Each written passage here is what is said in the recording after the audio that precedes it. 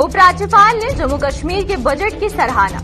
सवालिया निशान लगाने वालों को आत्ममंथन की दी सलाह। पूंजी पर पूंजीगत व्यय कम होने पर मुख्य सचिव ने रखा अपना पक्ष। जीएमसी में किडनी ट्रांसप्लांट की प्रबल हुई संभावना। केंद्र की तीन सदस्यीय टीम ने जांची तैयारियाँ। जल्द हरी झंडी मिलने की जताई जा रही उम्मीद।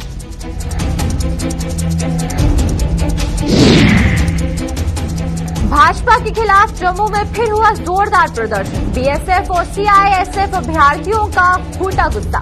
बॉर्डर बटालियन के अभ्यर्थी भी लगा रहे धोखे का आरोप।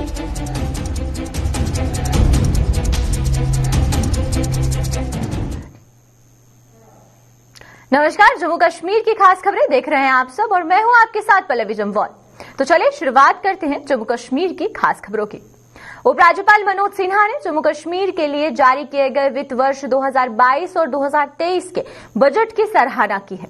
उपराज्यपाल ने कहा है कि ये बजट लोगों की जरूरतों और आकांक्षाओं का पूरा करने वाला बजट है और जम्मू कश्मीर के विकास, समृद्धि और यहाँ की शांति की प्रतिबद्धता को भी दोहराता है। जम्मू में आज एक प्रेस कॉन्फ्रेंस के दौरान उन्होंने जम्मू कश्मीर को यह सौगात देने के लिए केंद्र सरकार का आभार जताते हुए ये बात कही। उन्होंने कहा कि जो लोग इस बजट पर सवालिया निशान लगा रहे हैं, उन्हें इस पर आत्ममंथन करने की ज़रूरत है। उपराज्यपाल ने जम्मू कश्मीर के पूर्व राज्यपाल सत्यपाल मलिक द्वारा लगाए गए कुछ आरोपों के संबंध में पूछे गए सवाल के जवाब में कहा है कि इसकी जाँच की ज़िम्मेदारी सीबीआई को दी गई है और जाँच के बाद ही दूध का दूध और पानी का पानी हो पाएगा। उधर बजट की पूंजीगत व्यय कम निर्धारित किए जाने संबंधी सवाल पर मुख्य सचिव वी के मेहता ने सरकार का पक्ष रखा। बजट के बारे में तो 22-23 का बजट जो है, ये जम्मू कश्मीर की आवाम की जरूरतों और आकांक्षाओं को नीड्स एंड एस्पिरेशंस को पूरा करने वाला है।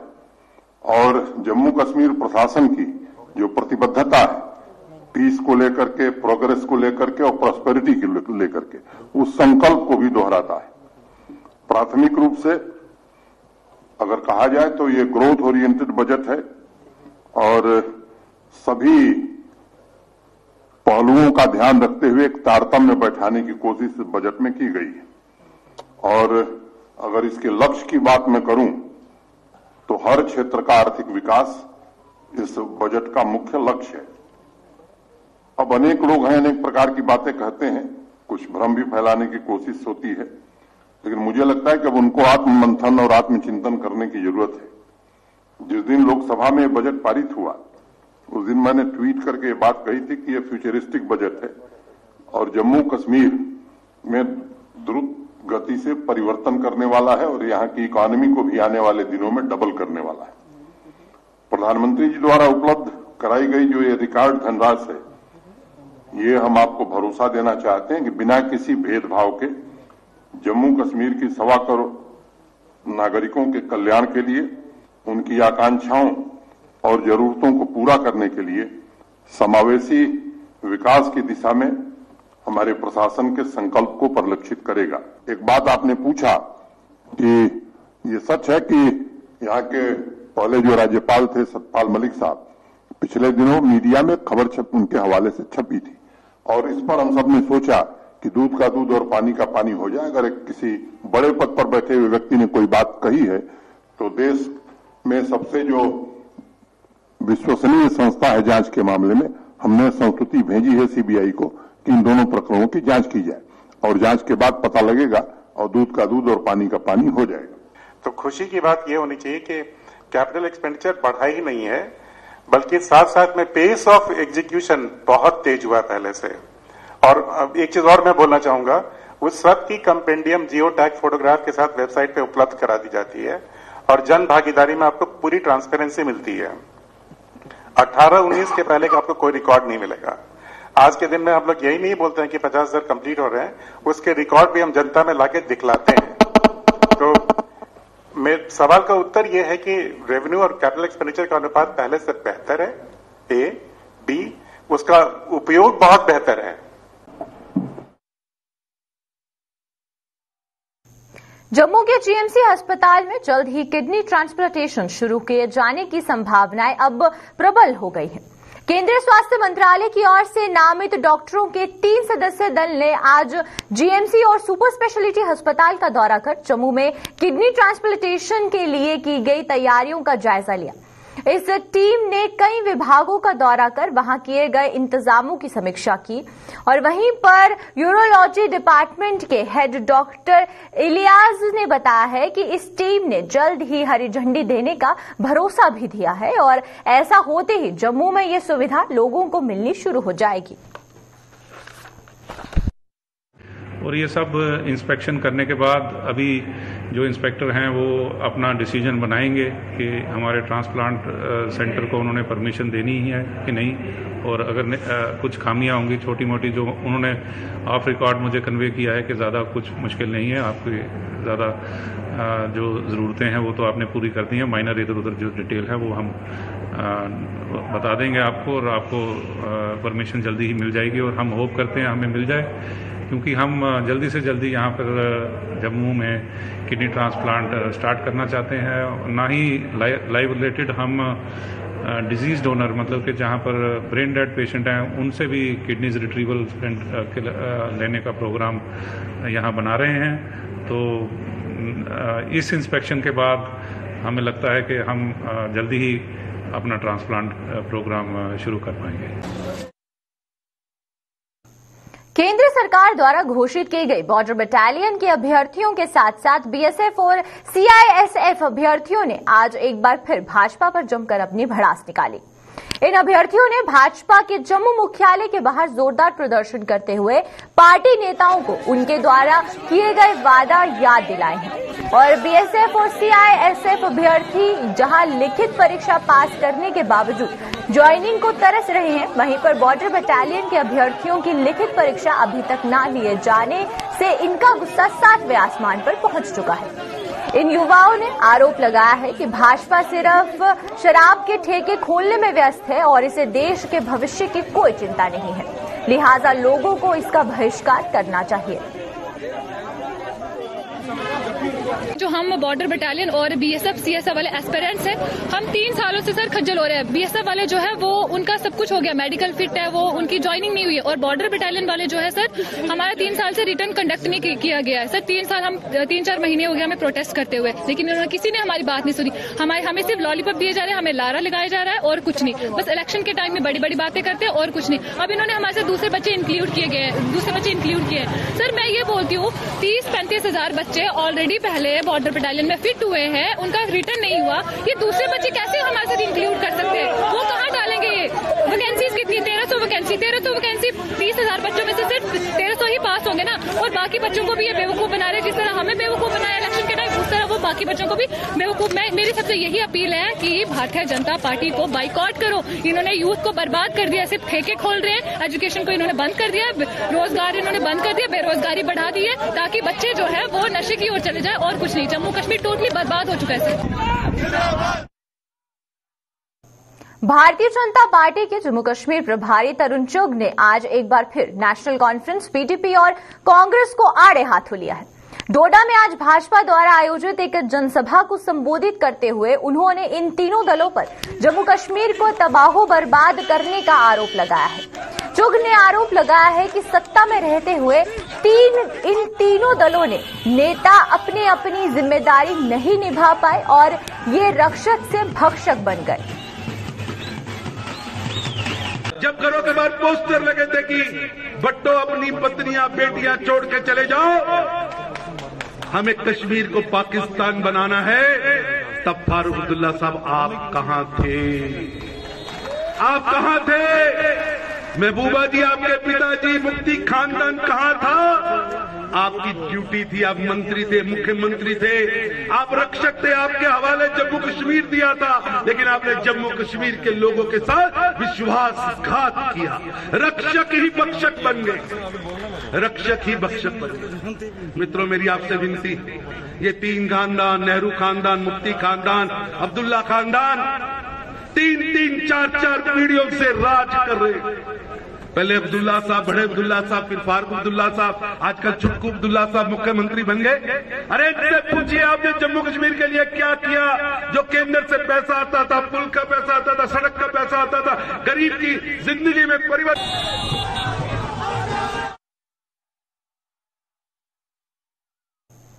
जम्मू में नगरोटा के नज़दीक आए सर पेश आए सड़क हादसे में 16 लोग घायल हो गए हैं। ये हादसा तब पेश आया जब खेरी से निकली एक मिनी बस नगरोटा के पंचग्राई इलाके में सड़क से नीचे उतर गई। इस हादसे में 16 लोग घायल हो गए, जिन्हें इलाज के लिए जम्मू के जीएमसी अस्पताल पहुँचाया गया है। वहीं इन घायलों में से दो को की गंभीर हालत के मद्देनजर उन्हें अमृतसर शिफ्ट कर दिया गया और अन्य घायलों का इलाज जारी है और उनकी हालत स्थिर बनी हुई है।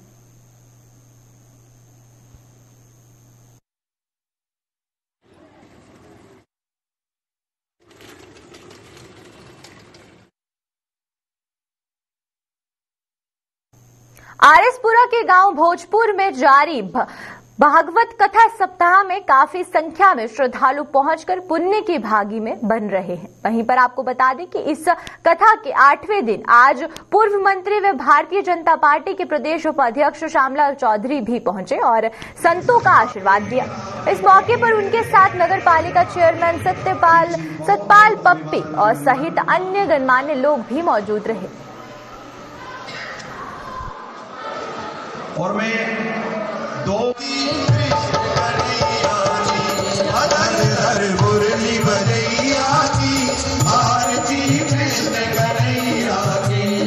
सारी संगत, सारे कुछ किस्मत का जो इलाके भगवान का ना सिमरन का भगवान की कथा भी है वहीं सारे बैठ के उस कथा का आनंद लेने हैं मैं इस तरह ही ਆਨੰਦ ਲੈਂਦੇ ਹਾਂ ਮੈਂ ਇਹ ਕਹਾਂਗਾ ਇਸੇ ਤਰ੍ਹਾਂ ਹੀ ਪੰਡਾਲ ਸੱਜੇ ਰਹਿਣਾ ਹੀ ਸਾਰੇ ਹੀ ਭਗਵਾਨ ਦਾ ਆਸ਼ੀਰਵਾਦ ਸਾਨੂੰ ਮਿਲਦਾ ਰਹੇ उस परम पिता परमात्मा के परमेश्वर के ये अरदास बेनती कर रहे हैं कि स्वामी जी महाराज और सारी संगत का आशीर्वाद बने रहे ताकि समाज की सेवा कर सकिए और सारे मिल के इसी तरह ही भगवान का आशीर्वाद फैमिली करे, आइए। और इससे जरा स्वामी जी और भगवान ने ਸਾਨੂੰ रास्ता दसिया उस रास्ते चल के भगवान का जीवन नाम सिमरन करते रहिए जय ज़्यादा ना जय श्री राम।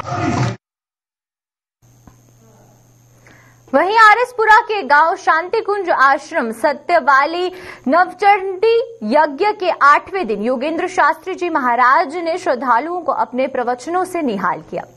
पूर्व मंत्री व भाजपा के प्रदेश उपाध्यक्ष श्यामलाल चौधरी भी आज इस यज्ञ का हिस्सा बने और इसके आयोजन के लिए मंदिर कमेटी की सराहना की। तो महामारी ने सोचिया कि बेचारे दूर दराज से नहीं जाने जोड़े। महापुरुषों के दर्शन नहीं घर बैठे दे मिली जान तो अज साढ़े शास्त्री जी का कृपा त्याग सारी संगत बनी रहे वैसे तो ये परम पिता परमेश्वर अगे शास्त्री जी महाराज अगर सारी संगत अगर ये बेनती करने का सारे का आशीर्वाद साढ़े बने रहे, ताकि समाज की सेवा करते रहिए। जिन्ना भी समय मिलया थोड़ा सारे का आशीर्वाद रहा। जो कुछ भी मेरे को हो सके अभी करने की कोशिश की थी तो मेरी तो ये कोशिश रही कि जितने भी समाज की ਜਿਸ ਚੀਜ਼ ਦੀ ਜ਼ਰੂਰਤ ਹੋਈ ਜਿਸ ਚੀਜ਼ ਲਈ ਸਮਾਜ ਨੇ ਜਾਲ ਕੀਤਾ ਕੋਸ਼ਿਸ਼ ਕੀਤੀ ਉਸ ਨੂੰ ਪੂਰਾ ਕੀਤਾ ਜਾਏ ਔਰ ਉਨੀ ਗੱਲ ਕਹੀ ਜੇ ਜਿਹੜੀ ਕਰ ਸਕੀਏ ਕਿ ਸਾ- सेना की उनतीस राष्ट्रीय राइफल्स द्वारा बारामूला में आयोजित हाफ मैराथन का खिताब शकील अहमद डार के नाम रहा करीब 21 किलोमीटर की हाफ़ मैराथन में शकील अहमद डार ने पहला, मोहम्मद अशरफ ने दूसरा और साहिल अहमद गहनई ने तीसरा स्थान हासिल किया। इस मैराथन में 200 युवाओं ने भाग लिया और इसके संपन्न होने पर विजेताओं को सम्मानित भी किया गया।